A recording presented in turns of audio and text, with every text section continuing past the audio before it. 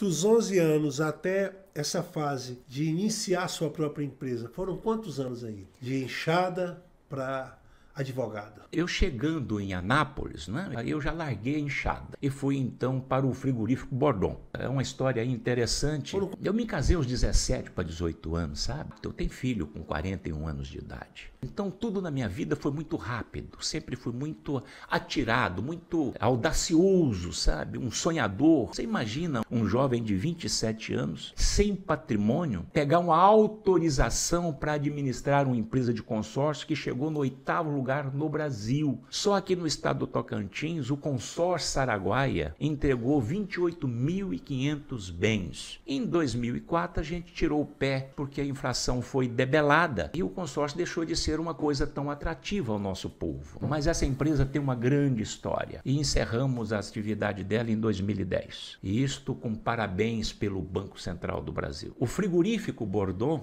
aonde eu entrei como office boy, na década de 90, mais precisamente ali para o ano de 97, 98, faliu o grupo. Era o maior fornecedor de proteína animal do mundo e dos 380 funcionários que tinha no frigorífico na área administrativa, 360 foi trabalhar no consórcio Araguaia comigo. Contratou o pessoal? Contratamos o pessoal. Isso é uma benção de Deus, né? Passou a ser patrão dos seus patrões, pode dizer assim também, né? Que tinham muitos chefes também. Muitos. Entre eles, o meu ex-sogro, seu José Quiquelhaus.